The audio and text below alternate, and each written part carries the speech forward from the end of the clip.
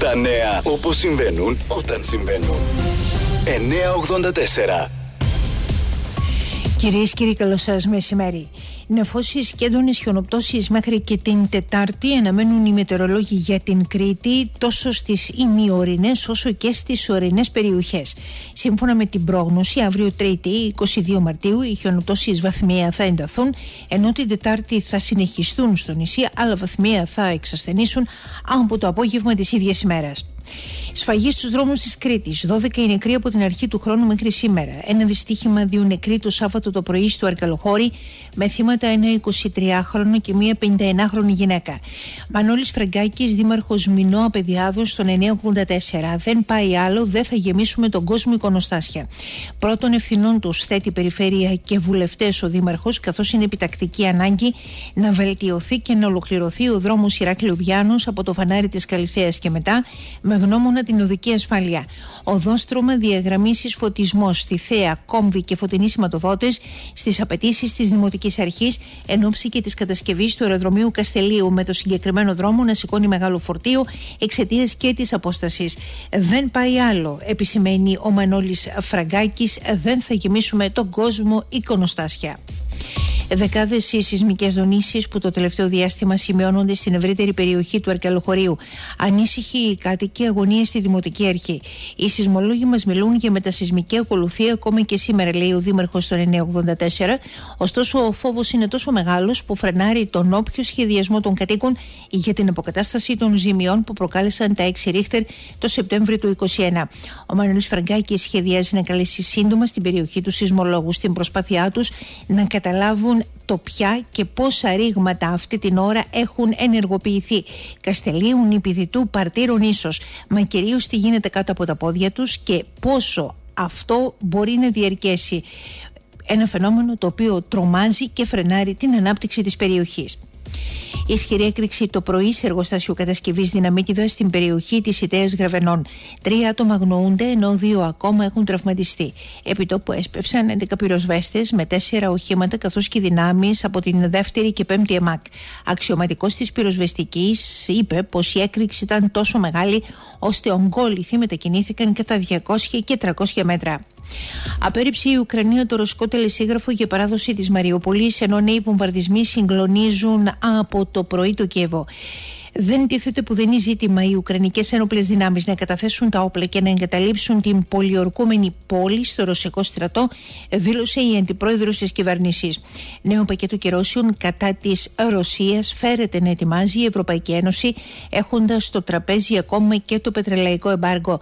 Ο πρόεδρος της Ουκρανίας κάλεσε την Ευρωπαϊκή Ένωση να σταματήσει κάθε εμπόριο με τη Ρωσία και κυρίως να αρνηθεί τους ενεργειακούς της πόρους. Με τον πλέον σοκαριστικό τρόπο. Περιγράφει ο Έλληνας πρόξενος στη Μαριούπολη ε, Μανώλης Ανδρουλάκης το μέγεθος του δράματος που εκτελήσεται στην Ουκρανία. Είναι τραγωδία αυτό που συμβαίνει για τον Ουκρανικό και το Ρωσικό λαό. Είναι ένα τραύμα που δύσκολα θα επουλωθεί, είπε κατά την αφήξή του στο αεροδρόμιο Ελευθερίου Βενιζέλος. Να ενώσουμε τις φωνές μας για να γίνει κατάπαυση του πυρός σημείωσε. Χτυπιούνται άμαχοι στα τυφλά και ανεξέλεγκτα.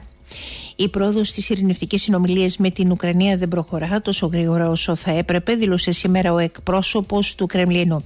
Ο πρωθυπουργός του Ισραήλ δήλωσε ότι ενώ έχει σημειωθεί πρόοδος στις συνομιλίες για κατάπαυση του πυρός μεταξύ Ρωσίας και Ουκρανίας, ότι παραμένουν πολύ μεγάλα κενά μεταξύ των δύο πλευρών.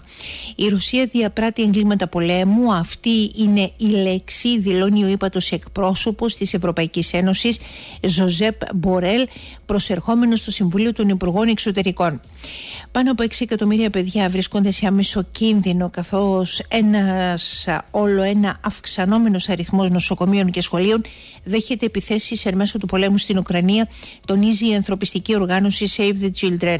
Ο Παγκόσμιος Οργανισμός Υγείας αύξησε τον αριθμό των, των επιθέσεων που έχουν στοχεύσει στο σύστημα υγειονομικής περίθαλψης της Ουκρανίας.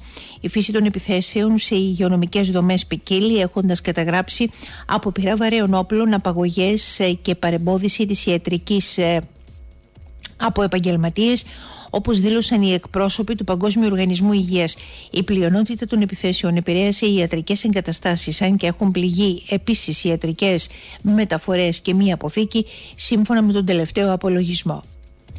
Ανωδικέ τάσεις αναμένονται στις τιμές των καυσίμων αυτή την εβδομάδα, καθώς οι διεθνείς τιμές του πετρελαίου έχουν ξαναπάρει την ανηφόρα από τα 107 δολάρια σήμερα στα 112 δολάρια το βαρέλι, όπως είπε ο αντιπρόεδρος της Πανελλήνιας Ομοσπονδίας Πρατηριούχων Εμπόρων Καυσίμων, η Γιώργος Σασμάτογλου. Σε 12.462 ήταν χθες Κυριακή τα κρούσματα κορονοϊού στη χώρα, εκ των οποίων τα 1062 στην Κρήτη. 546 σε Ηράκλειο, 99 σε Λασίθι, 150 σε Ρέθυμνο και 267 στα Χανιά. Το ίδιο διάστημα οι θάνατοι ήταν 44. Για κατάργηση του πιστοποιητικού εμβολιασμού μέχρι το Πάσχα έκανε λόγο το μέλος της Επιτροπής Εμπειρογνωμόνων Γκίκας Μαγιορκίνης. Η πανδημία ανέδειξε τα πλειονεκτήματα και τα μειονεκτήματα του ΕΣΥ. Πρέπει να συνηθίσουμε να ζούμε με τον COVID μακροπρόθεσμα. Θέλω να διασφαλίσω πως ανεξαρτήτως που ζει κάποιος στην Ελλάδα θα έχει ποιότητα στις ιατρικές υπηρεσίες. Τα παιδιά και οι έφηβοι είναι οι πλέον ευάλωτοι στην κοινωνία μας. Η ψυχική τους υγεία είναι πολύ σημαντική. Είναι σημαντικό να τους προσφέρουμε την καλύτερη δυνατή φροντίδα σε ό,τι αφορά την ψυχική τους υγεία, σημείωσε ο Πρωθυπουργός στα εγγένεια του γραφείου του ΠΟΗ στην Αθηνά. Τετράωρη στάση εργασίας προκήρυξε σήμερα η ΥΠΟΕΔΗΝ. Ζητούμενο για τους εργαζόμενους η περαιτέρω αποδυνάμωση των νοσοκομείων με τη λήξη των συμβάσεων εκατοντάδων ανθρώπων τέλος του Μάρτη στους τομείς της καθαριότητας και της σύντησης, όπως επίσης και των νοσηλευτών.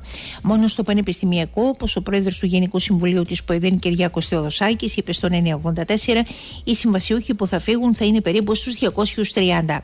Στο πλευρό των υγειονομικών, οι θεολόγοι της χώρας ζητούν από τον Πρωθυπουργό, στον οποίο απευθύνουν ευθύνονται την άμεση αποκατάσταση των 8.000 εμβολία των υγειονομικών του ΕΣΥ που βρίσκονται εκτός εργασίας και σε κατάσταση απόλυτης ένδυας, σημειώνουν ε, τις σκληρές και ανερμήνευτες δηλώσεις ε, του αρμόδιου Υπουργού Υγείας σε βάρος τους, διακρίνοντας, όπως αναφέρουν, στοιχεία εκδίκησης αδικίας διακρίσεων και λήψη κοινωνικού ενδιαφέροντος και επισημαίνουν είναι πλέον καιρός να προσπεράσουμε τους πολέμους και τους διαχωρισμούς. Τραγελαφικές εικόνες στα νοσοκομεία της χώρας που καλούνται να συνταγογραφούν φάρμακα και εξετάσει στους ανασφάλιστους, αλλά και σε εκείνους που ασφαλισμένοι είναι μεν, αλλά ανασφάλιστους τους παρουσιάζει το, το σύστημα του ΙΕΦΚΑ εξαιτίας κάποιου προβλήματος. Στη Βουλή από τους βουλευτές Ηρακλείου τους ΣΥΡΙΖΑ η επιστολή του Ιατρικού Συλλόγου Ηρακλείου. Επίσης, ο Ιατρικός Σύλλογος Αθηνών καλεί το Υπουργείο Υγείας να αποσύρει το μέτρο.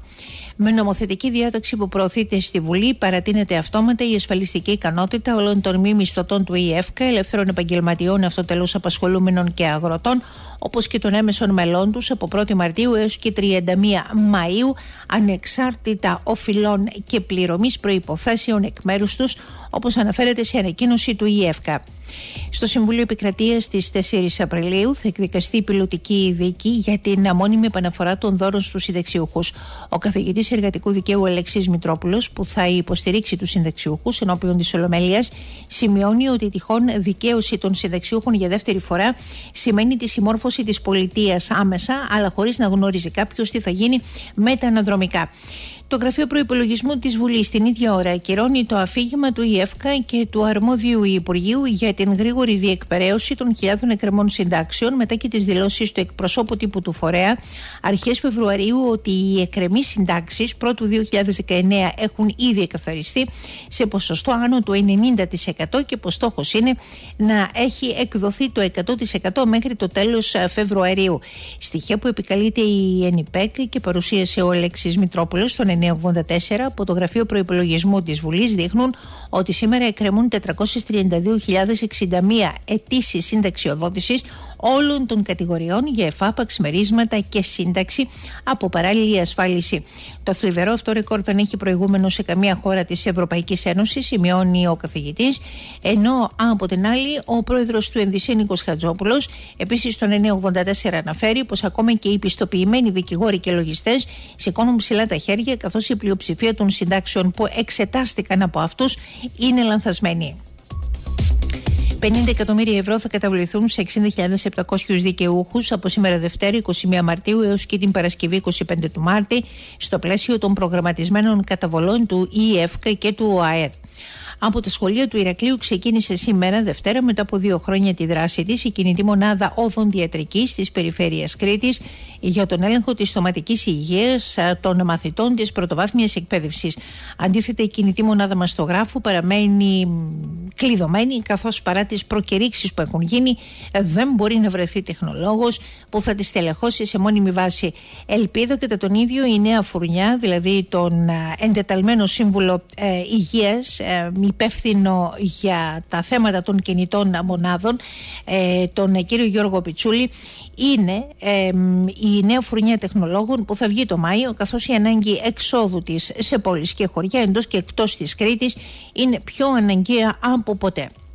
Θερμότατη υποδοχή επιφύλαξαν στο νέο του Πιμενάρχη, κύριο κύριο πρόδρομο, κλήρος λαός εκπρόσωποι των αρχών και φορέων του Ρεθύμνου, το Σάββατο στην πλατεία του Άγνωστου Στρατιώτη. Σε κλίμα συγκίνησης, ο Αρχιεπισκόπος Κρήτης και πρώην Ρεθύμνης Αυλοποτάμου, κύριος Ευγένιος, παρέδωσε στην επισκοπη, την επισκοπική ποιμαντορική ράβδο στο νέο Μητροπολίτη. Συνάντηση του Αντιπεριφερειάρχη Περιβάλλοντος με στελέχη του ΣΥΡΙΖΑ για θέματα περιβάλλοντος και ενέργεια στην ειδική περιβαλλοντική μελέτη των περιοχών Natura 2000 Κεντρικής και Ανατολικής Κρήτης που εκπονείται από το Υπουργείο Περιβάλλοντος και Ενέργειας και η οποία πρόκειται να αποτελέσει αντικείμενο μονοθεματικής συνεδρίασης του Περιφερειακού Συμβουλίου Κρήτης. Έκρηξη έχει παρουσιάσει στις υποθέσεις απατών μέσω διαδικτύου με πλήθος καταγγελιών καθημερινά από ανυποψία στους πολίτες με αποτέλεσμα ο συνήγορος ε, του καταναλωτή να κρούει τον κόδωνα του κινδύνου. Η διενέργεια συναλλαγών e-backing θα πρέπει να γίνεται από ηλεκτρονικούς υπολογιστές οι οποίοι διαθέτουν ενεργοποιημένο και ενημερωμένο πρόγραμμα προστασίας από κακόβουλο λογισμικό αναφέρει μεταξύ άλλων. Καταστήματα και τράπεζες στο κέντρο του Ηρακλείου βανδάλισαν αγνώστοι μέχρι στιγμής δράστες. Τέσσερα άτομα με καλυμμένα τα χαρακτηριστικά τους, έχοντας μαζί τους σφαιριά, έσπασαν βετρίνε σε καταστήματα, τράπεζες και ATM στην 25η Αυγούστου, σε εξέλιξη οι έρευνες της αστυνομίας. Νέο περιστατικό ενδοοικογενειακής βίας στο Ηράκλειο χθες το μεσημέρι με 62χρονο που συνελήφθη να χτυπάει μέχρι λιποθυμίας την 56χρονη σύζυγό του. Η γυναίκα μεταφέρθηκε στο Βενιζέλιο, ο ίδιος συνελήφθη. Φωτιά εκδηλώθηκε σήμερα το μεσημέρι στον πρώτο όροφο παλιού κτηρίου στη Μάρθα Ηρακλείου. Boeing 737 με 133 επιβάτες συνετρίβει στην περιοχή του Γκουανξί, νοτιοδυτικά της Κίνας, όπως μετέδωσε η κινέζικη κρατική τηλεόραση. Λίγο πριν τη συντριβή, ο πιλότος ακούστηκε να λέει πως δεν μπορούν να ελέγξουν το αεροπλάνο. 95 άνθρωποι τραυματίστηκαν σήμερα στην πλειονότητά τους σε ελαφρά κατά τη σύγκρουση δύο τρένων στο νότιο τμήμα της Τινιβέ, όπως ανακοίνωσε η Υπηρεσία Πολιτικής Προστασίας της Τινησίας.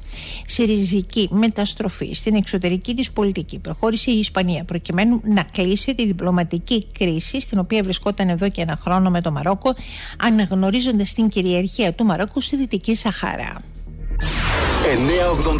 984. Νέα και σπορ στην ώρα τους.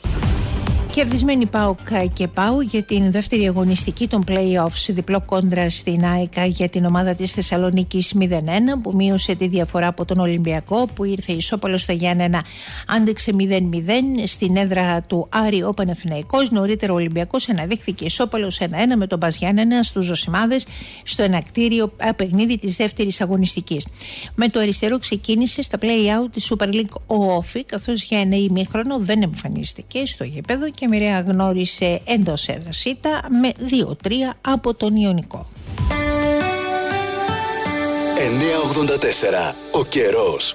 Νεφελώδης ο καιρός, ανέμει από βόρειε διευθύνσει στα 6 με 7 από φόρε, έω τους 12 βαθμούς Κελσίου η θερμοκρασία.